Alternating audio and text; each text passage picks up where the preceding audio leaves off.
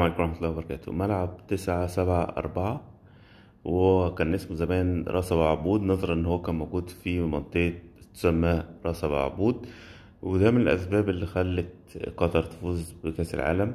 إن في مشكلة مكانش حد لاقي حل إن إن إن ملاعب كبيرة بتتعمل في بلاد وبعد ما بتخلص خلاص ما حدش بيستخدمها تاني. يعني ما فيش بطولات بتقام بالحجم دوت. فهم قالوا لا إحنا هنعمل حاجة استدامة صديقة للبيئة إنه بعد ما يخلص هنهديه هنهدي الملعب كله نفكه ونديه لدولة صديقة.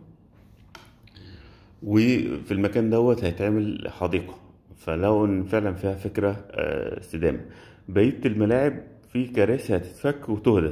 بقية الملاعب هتفضل زي ما هي لكن مش هتبقى بنفس الطاقة الاستيعابية اللي الفيفا كانت شرطها فالكراسي الإضافية ديت هتهدى لدول أفريقية فكانت فكرة حلوة من أفكار الاستدامة ويمكن دي أول مرة تطبق في كأس العالم وأول مرة يتعمل الاستاد كله من الحاويات ويبقى جاهز إن هو يتفك. حاجة آه، روعة جدا وحاجة أفكار استدامية آه، جميلة. نتمنى إنها تتطبق بعد كده.